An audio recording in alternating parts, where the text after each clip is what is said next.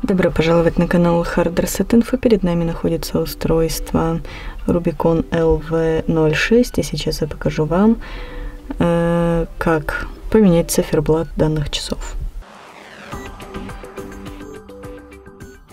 Итак, для этого мы свайпаем вниз и переходим в настройки. Далее нажимаем экран дисплея и нажимаем выбрать циферблата. И теперь мы можем выбрать понравившийся нам циферблат, например, вот этот. Нажать на него, и таким образом мы его установили. И на этом все. Спасибо за просмотр, ставьте лайки, подписывайтесь на наш канал.